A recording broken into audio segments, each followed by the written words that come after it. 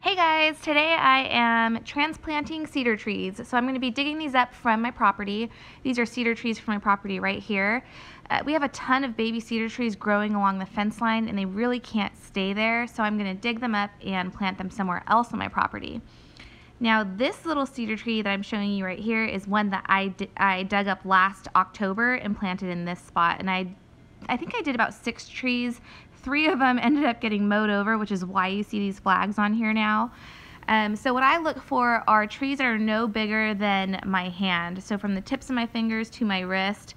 Um, they can be a little bit bigger than that, but that tends to be the, the size that just happens to transplant really well. Now, I pick days that are really wet, so right after a heavy rain to transplant, and I always do it in mid to late fall, um, which is right now.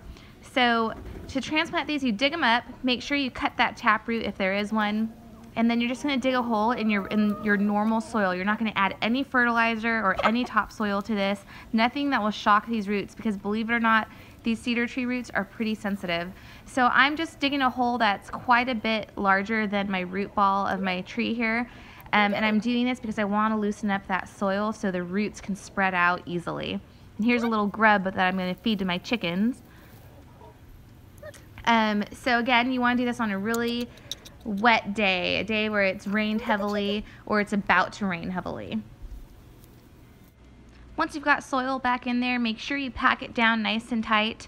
I have sandy loam soil, so it's really easy for roots to spread out in my type of soil, so I'm packing mine down pretty tight, making sure there's no air pockets around the root of my tree. If you have a more dense soil and that tends to compact um, really easily or really hard, um, just do it lightly. Or you could add a little bit of sand into your mixture, but I wouldn't add anything that has fertilizer in it.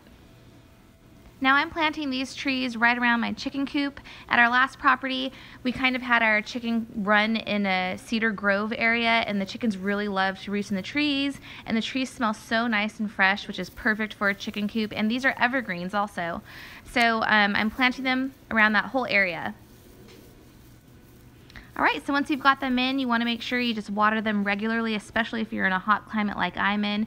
However, I only watered mine until late spring, and then they did fine on their own without ever being watered again. Um, so that is how I transplant cedar trees. I hope you guys liked it. Don't forget to subscribe and hit that bell for notifications.